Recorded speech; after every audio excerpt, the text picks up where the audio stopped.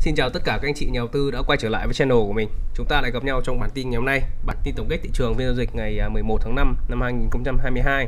Thì trước khi vào bản tin ngày hôm nay, rất mong anh chị và các bạn hãy like và chia sẻ kênh của mình cho mọi người cùng tham khảo. Ngoài ra thì hãy ấn nút đăng ký để nhận được những thông báo mới nhất từ channel của mình. À, đến với bản tin ngày hôm nay thì chúng ta thấy rằng là một phiên giao dịch tăng điểm, nhưng tuy nhiên là cái thanh khoản nó đang thấp kỷ lục và à, chúng ta nó khiến cho chúng ta nhớ đến cái giai đoạn năm 2020 Đấy, trước khi mà bắt đầu uh, vào một cái con sóng ờ, lịch sử. Đấy, thì ờ, cái thanh khoản nó chỉ đâu đó 12 13 nghìn tỷ. Ở đây là cái mức thanh khoản là mình rất quen trong thời gian trước. Thực ra để nói rằng là ờ, cái thanh khoản nó lên 30 đến 40 nghìn tỷ thì đúng là nó mới rất là mới lạ. Đấy, còn cái thanh khoản thanh khoản nó về 10 nghìn này rồi là 12 nghìn tỷ thì thực sự là nó mới là quen. Đấy, và à, không biết rằng đây có là cái lý do mà à, ngày xưa anh à, anh trà là à, rất là dây dưa này, rất là có thời gian rất là lâu thì mới uh, chịu uh, cải tổ cái uh, bộ máy uh, để cho đỡ giao dịch đỡ bị lác không. Ừ. thì uh, trong phiên giao dịch ngày hôm nay ta thấy rằng là vn index thì tăng uh, hôm nay là tăng 7,79 điểm tương đương 0,62% 294 mã tăng và 143 mã giảm. Số mã giảm và số mã tăng thì thực ra nó cũng không uh, có hơn nhau quá nhiều. Ờ, à, VN30 thì tăng 4,36 điểm tương đương 0,32% 16 mã tăng và 13 mã giảm. Thì các cái mã cổ phiếu tăng trong phiên hôm nay thì hầu hết đến từ uh, mình thấy đến từ dòng bất động sản này. Đấy, các cái mã cổ phiếu như Celtic thì hầu hết là đều hình thành uh, cái mẫu hình hai đáy. Nhưng tuy nhiên là trong dạng này thì cái mẫu hình hai đáy này nó chưa hoàn thiện nhé Đấy, tại sao mình lại nói chưa hoàn thiện. Vì thông thường thì một uh, để hoàn thiện một cái mẫu hình hai đáy thì nó sẽ cần phải xác nhận qua À, các cái đường tín hiệu hay là các cái mẫu hình cụ thể.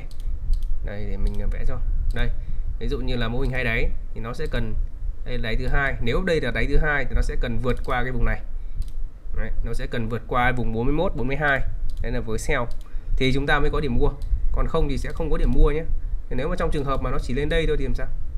Đúng không? Thì chúng ta sẽ không thể là coi được mà mô hình là một mô hình hai đáy nếu mà nó không xác nhận. Cái gì trong phân tích kỹ thuật thì đều có xác nhận hết. Đấy, ví dụ như do giai đoạn này thì rất là khó. Để chúng ta nhận định rằng à đang có một mẫu hình hai đáy Đấy, hầu hết tất cả các mã cổ phiếu uh, hình thành hai đáy thì chúng ta phải có cái sự xác nhận như thế nhé.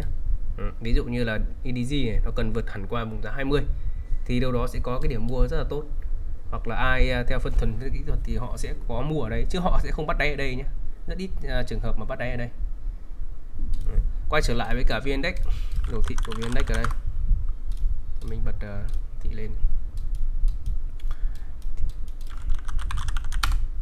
Đấy, thì hôm nay ờ, uh, VNDAX uh, ờ, có một phiên tăng tuy nhiên thanh khoản thì giảm tương đối là mạnh và uh, chưa có cái tín hiệu gì để về cái việc là đã hình thành đáy cả. Đấy, chưa có tín hiệu gì về cái việc hình thành đáy cả. Nên tuy nhiên ở trong uh, phim này thì có cái sự tích cực ở trong cái chart trong cái chart đồ thị. Có nghĩa rằng là à, đường RSI ở đây trong khung ngắn hạn thì đã hình thành đáy tuy nhiên cái nhịp này thì nó mạnh hay yếu thì à, đối với mình đánh giá thì nó sẽ yếu hơn rất nhiều so với cái nhịp này. Đấy, so với cái nhịp đáy trước và nó sẽ à, và nó sẽ không đi không thể đi được cái một cái nhịp thêm từ 100 điểm nữa như trong giai đoạn trước. Nó đâu đó chỉ lên tổng tối đa vùng 1329 thôi. Đấy là cái chiều hướng tích cực. Đấy thì trong phiên ngày hôm nay thì mình cũng đã có những khuyến nghị uh, trong uh, room uh, khuyến nghị của mình như sau đây trên đồ thị ờ, uh, đây, trên đồ thị uh, quickly. Đấy, hiện tại thì vn index đang giao dịch mà bên ngoài giải Bollinger Band và cách rất xa đường MA20 do đó thì trong ngắn hạn nếu vn index hồi phục lên vùng 1300 và giữ ở vùng này từ 2 đến 3 phiên giao dịch cái tiếp theo thì dòng tiền có thể tiếp tục gia tăng thì ờ, mới có thể kỳ vọng được vn index sẽ hồi lên vùng 1360 trong kịch bản tiêu cực hơn VN Index sẽ vẫn hồi phục lên 1300 đến 1310 thì sau đó sẽ quay trở lại cái vùng 1260 Đấy, trước khi có những diễn biến mới. À, như nhận định các phiên trước giao dịch trước giai đoạn này phù hợp với nhà đầu tư trung hạn và có tỷ lệ tiền mặt cao. Đấy, à, lựa chọn các mã cổ phiếu giảm à, trước thị trường để mua tích lũy cho trung hạn. Đấy, nhà đầu tư ngắn hạn thì có tỷ lệ tỷ lệ tiền mặt cao cũng chỉ lên à, mở vị thế mua mới từ 20 đến 30 phần trăm theo khuyến nghị. Ưu tiên các mã cổ phiếu nền tảng cơ bản tốt nội tại tốt doanh nghiệp à, tốt và tăng trưởng. Đấy, nhà đầu tư có hàng sẵn có thể canh mua tại các vùng hỗ trợ mạnh của cổ phiếu để lướt hạ giá vốn. Đấy, thì trong phim này thì mình cũng đã có khuyến nghị một số các mã cổ phiếu. Và từ hôm qua và hôm nay tuy nhiên danh mục này thì uh, cho nhà đầu tư ngắn hạn giỏi lướt T cộng và nhà đầu tư trung hạn thì mua uh, tích lũy cho cái mục tiêu ngắn hạn uh, cho mục tiêu trung hạn. Còn nhà đầu tư giao dịch theo trend tiếp theo tiếp tục quan sát và chờ thị trường tạo đáy xong thì mới mua với bản thân mình thì mình à, hôm qua chỉ mua mỗi ít à, dòng chứng khoán thôi. Còn lại thì hôm nay có thêm à, mã cổ phiếu ri thôi. Còn lại thì mình không không có mua quá nhiều và trong dạng này thì tiền mẹ tiền mặt của mình cũng rất là rất là cao. Đấy, chủ yếu là ngồi ngắm thị trường lưu ý. Giai đoạn tới thì thị trường sẽ giao dịch khá có chịu nhưng xu hướng chung thì vẫn là giảm. Các cái nhịp hồi nếu có cũng diễn ra ngắn và yếu xu hướng thì rất cần nhiều thời gian để tích lũy trước khi mà tạo một chiên tăng. Đấy, xu hướng trung hạn của VN Index hiện tại đang vào đà giảm cho nên là mọi người à, không nóng vội và cuốn vào vòng xoáy của mua bán. Đấy, một số các cái mã cổ phiếu thôi.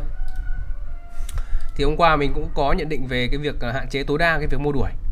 Thì việc mua đuổi trong uh, chứng khoán thì tương đối là là rủi ro. Đấy. nên là giai đoạn này thì mình không uh, có khuyến nghị quá nhiều với mã cổ phiếu. Hôm nay thì uh, ngoài dòng uh, hôm nay thì ngoài dòng à, bất động sản ra thì không có các cái dòng nào nó nổi trội lên cả. Không có nào dòng nào nổi trội lên cả. Quay trở lại VN Index thôi. Đấy, thì như dự kiến thì nó sẽ hồi phục tối đa lên vùng 1330 nghĩa là lấp cái gap này. Sau đó thì có cái đà giảm theo khi mà cái đường MA20 này nó bắt đầu à, võng xuống võng hẳn xuống rồi. Đấy, về cái khung uh, khung tuần ở đây thì nó hình thành một cây nến à, đảo chiều. Tuy nhiên rằng hôm nay mới là thứ hôm nay mới là thứ tư nên là chưa hết à, còn hai phiên nữa mới hết tuần. Nên là mình chưa, chưa nhận định quá nhiều chỉ nhận định ở đây rằng là cái đường uh, uh, giá đã vượt qua cái giải Bollinger Band đang đang nằm ngoài cho nên cái đà giảm mà nó sẽ không nhanh và mạnh như cái thời gian trước nữa mà nó phải đi vào trong mây à đi vào trong cái Bollinger Band rồi uh, tiếp theo là giảm đâu thì giảm. Nên là với nhận định về VN Index. Còn uh, với VN30 VN30 thì tương tự ở trong khung tuần. Còn uh, khung ngày thì cũng uh, có cái sự uh, chuyển biến nó tương tự hơn một chút thôi không có gì cả.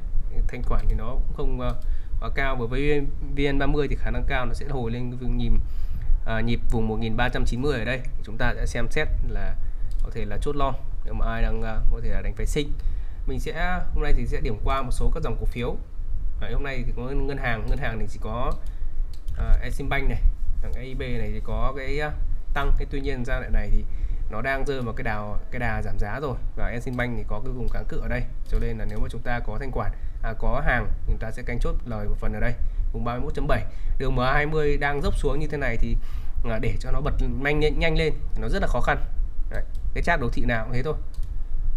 CTG này CTG hôm nay cũng tăng đến à, 5% nhưng tuy nhiên là cái cái mã cổ phiếu này thì mới đang trong cái quá trình hình thành đáy một. Cho nên chúng ta cũng không cần phải theo dõi quá nhiều. Đoạn này thì có ACB này chạc thì cũng ok. Rồi nó đang hình thành à, đang à, hình thành các cái hình đáy hai đáy của MACD và RSI thì cũng đang có cái phân kỳ RSI Đấy, cho nên là mã cổ phiếu này mặc dù chưa có điểm mua nhưng tuy nhiên là chúng ta hãy lưu ý tới mã cổ phiếu ACB này trước. SKB này không có gì. MBB thì cũng hồi nhưng mà hầu hết là đều hình thành đáy một cho nên là chúng ta không quá quan tâm chưa lên à, hạn chế. Mọi người hạn chế tham gia với cái việc bắt đáy. Và thông thường thì và khi mà mình khuyến nghị bắt đáy ấy, thì nó chỉ từ đến 0 đến 50 phần trăm tiền thì thôi.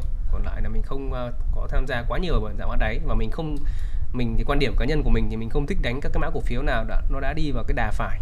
Này cái chiều phải của trà kỹ thuật rồi. Đấy. khi mà chúng ta xác nhận đỉnh ở cái vùng này.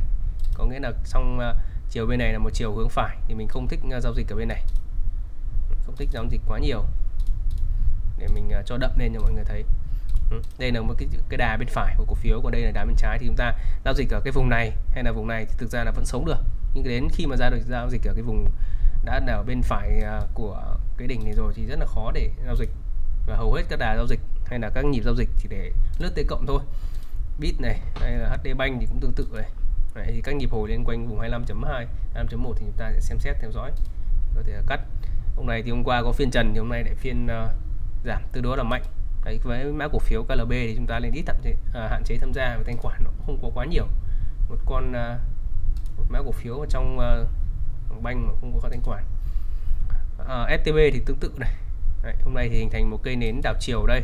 Tuy nhiên là để nó có thể là xác nhận đảo chiều nhưng trong đoạn này thì nó sẽ cần rất mất mất rất nhiều thời gian và nó có cả cái tỷ lệ là nó thủng cơ. Đấy. ví dụ như trong giai đoạn này chúng ta thấy rằng là nó hình thành lên hai cây nến đảo chiều. Đấy. Thì, tuy nhiên rằng nó vẫn không giữ được cái đà để à, tích lũy tái tích lũy và đảo chiều và nó giảm tiếp theo thị trường chung. Giai đoạn này thì cũng đang có một nến rồi. Và à, như mình đã nói thì à, khi mà thị trường cần khi mà khi mà thị trường đảo chiều thì sẽ cần rất mất rất nhiều thời gian để tích lũy. Nên là mọi người trong giai đoạn này đừng có vội. Cầm đã cầm tiền rồi nó là một cái điều may mắn rồi. Hôm nay dòng thép thì các mã cổ phiếu quay trở lại đà giảm. Hôm qua thì có đã tăng đây trở lại đà giảm. Tuy nhiên cái áp lực bán cũng không có còn không còn quá mạnh nữa. HPG này. Đấy, thì cái hỗ trợ của nó sẽ ở quanh vùng 39 HSG thì tương tự. Đấy, hỗ trợ quanh vùng 22.1 thì khả năng cao hàng về thì hàng về những ai bắt đáy ở cái vùng 22.9 này thì chưa chắc đã lãi đâu nhé Đấy, với HSG này Nam Kim này. Đấy, Nam Kim giờ này mà nếu mà không mua không mua sát được cái vùng 30 31 này thì 30 đến 30.5 này thì khả năng hàng về chưa chắc đã lãi Đấy, vì bởi vì khi mà nó hình thành một cái đáy đây nó sẽ giật lên giật xuống giờ này cơ. Đấy là dòng thép hôm nay dòng chứng khoán thì có APS quay trở lại trần. Quay trở lại trần tiếp. Thì uh, cái câu chuyện của APS thì nó gắn liền với cả EDG với cả API rồi. Nên là hôm nay EDG trần thì nó cũng là trần là cũng điều dễ hiểu thôi. Và cái kháng cự của mã cổ phiếu này nó sẽ ở quanh cái vùng à, giá 20.6 đấy là với APS này. Mã cổ phiếu này thì mình không để ý lắm. Con uh, nhỏ nhỏ.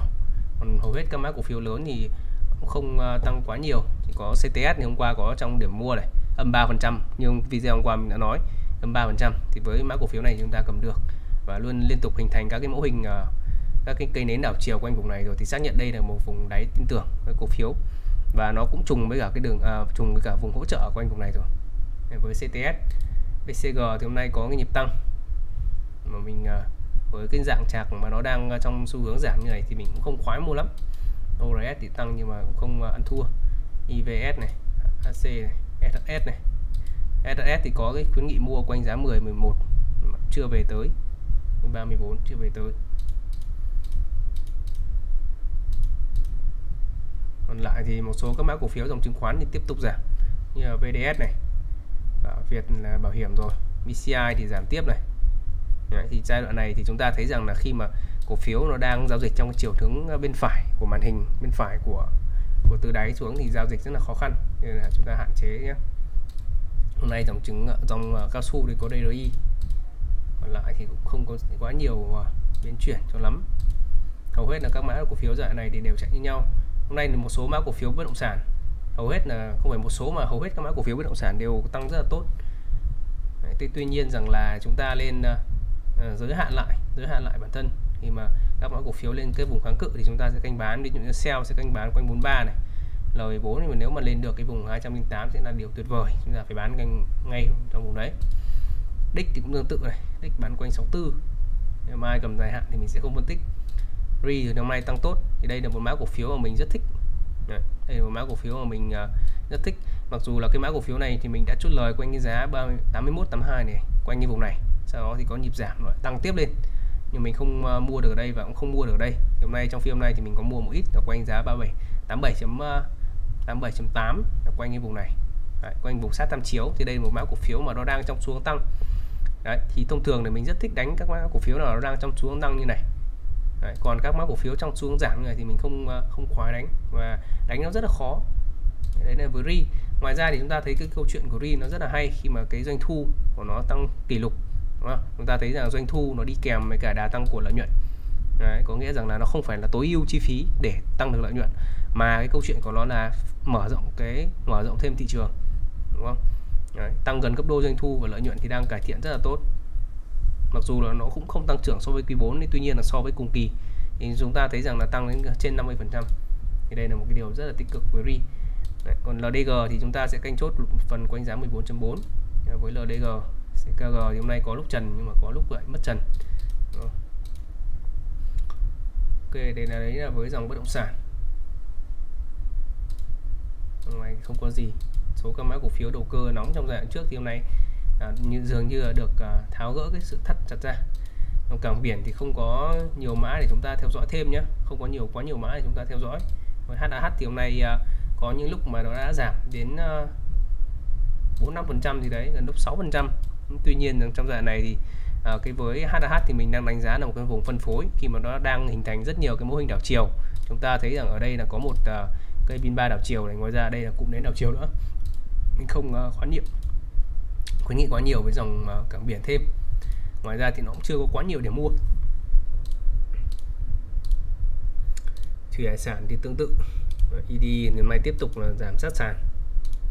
ACL thì tương tự. Đấy, cái dạng trạc của nó hay là à, các cái tín hiệu mà để biết từ báo đỉnh thì hầu hết các mã cổ phiếu nào cũng như nhau. Đấy, ví dụ như ACL này đang hình thành hai đỉnh và cái mẫu hình đảo chiều của nó nhìn rất là rõ. À, ASM này VSC thì tương tự như là cái mã cổ phiếu HAH nhé. ANV này. Đấy, hiểu hình thành các cái cây nến rất là dâu rất dài trên này. Và nếu trong trường hợp ngắn hạn mà không vượt được qua vùng 50.8 thì chúng ta phải xem xét cái chiều bán ngay lập tức. CMX hôm nay giữ được chiên tăng. Và với hình thành hai đáy thì mới mã cổ phiếu này thì đang ok. Dầu khí thì hôm qua tăng tốt hôm nay cũng à, tăng rất là khá. Thì có pet ở trong dòng dầu khí thì đang à, kìm hãm này được giảm thôi còn lại thì dòng dầu khí tăng uh, tương đối ổn định. Và trong cái trường hợp mà nó vượt lên cái vùng 26.4 này thì chúng ta sẽ đưa vào theo dõi để chúng ta lướt tới cộng luôn nhé. Còn lại để đầu tư tăng trưởng thì chúng ta sẽ không theo dõi với những mã cổ phiếu nào mà đã mất uh, kinh tăng như thế này. BR chúng ta sẽ kênh ở quanh vùng 21.9 là kênh bán được. VB dầu khí thôi. Điện này điện hôm nay có ri tốt này. QTP cũng đang ok. Tuy nhiên đây là mã cổ phiếu mình để ý trong thời gian trước nhưng mà nó cũng bị gãy kênh nên là mình sẽ không uh, à, quan tâm đến mã cổ phiếu này nữa. Trừ khi mà nó lại vượt hẳn lên cái vùng 19.5 này chúng ta rồi tích lũy thì mình sẽ quan tâm trở lại. À, trong dòng thủy điện thì có thằng uh, Vĩnh Sơn này rất là hay này. Đấy, nhuận của nó tăng khá tốt. Ừ. ra thấy rằng là cùng kỳ nó sẽ tăng đến tận 4 lần 4 lần cùng kỳ và nó đi kèm với cả doanh thu luôn. Cho nên là năm nay thủy điện thì tăng rất là ok. Cho nên là đây là một mã cổ phiếu mà mình sẽ lưu ý trong thời gian tới và mình sẽ làm một bài phân tích nếu mà ai quan tâm thì có thể là inbox cho mình. Mình sẽ gửi cho trong à, thời gian sớm nhất. Hôm nay có TTA cũng tăng rất là tốt. Với TTA thì à, giai đoạn này hầu như là các mã cổ phiếu nào làm về thủy điện thì đều tăng tăng trưởng lợi nhuận tốt. Ở đây là nó chưa có thôi chứ còn không thì à, giai đoạn này quý 1 của 2022 TTA nó được năm 50 mấy tỷ đấy. Có nghĩa là gấp 86 à, cộng thêm 86 phần trăm so với cái lợi nhuận quý 1 năm 2021 ừ, thì cái chiều hướng tăng giá của nó sẽ được củng cố rất là nhiều còn cái kháng cự ngắn hạn của nó quanh vùng 14 này thì chúng ta chưa biết là nó có vượt được không. Mình cũng không khoái khi mà mua trong trường giảm.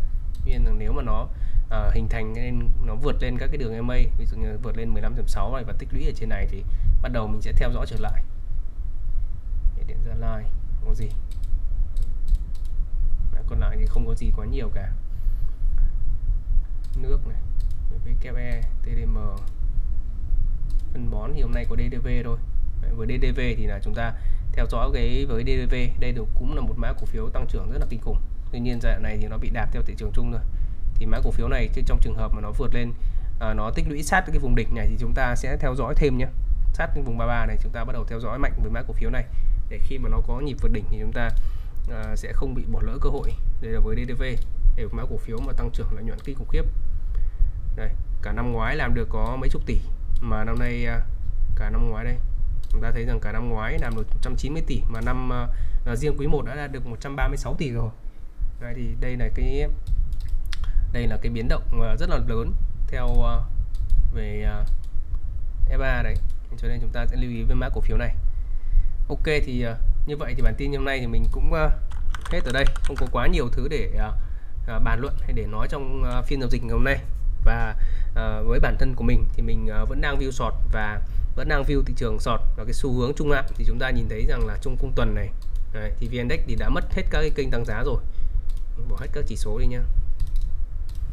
Này chúng ta thấy rằng là cái à, thời gian à, uptrend của nó từ cái đáy ngày thực à, đáy hôm đáy hồi tháng 3 năm 2020 cho đến tháng 4 năm 2022 thì đã gãy cái kênh tăng giá rồi. Cho nên là từ giờ đi trở đi thì à, cái nhịp tăng của nó chỉ là cái nhịp phục hồi thôi. Và à, chúng ta phải thừa nhận với nhau rằng là nó đã mất kênh tăng và đã à, mất cái nhịp uptrend rồi. Đấy, và giờ thì chỉ có downtrend thôi. Chỉ có down downtrend à, à, thôi. Còn về đâu thì chúng ta sẽ phải à, theo dõi thêm. Mà trong dạng này thì mọi người cầm được nhiều tiền thì càng tốt. Đấy, càng cầm được nhiều tiền thì càng tốt mà hạn chế giao dịch trở lại. Bởi vì giao dịch thì rất khó khăn.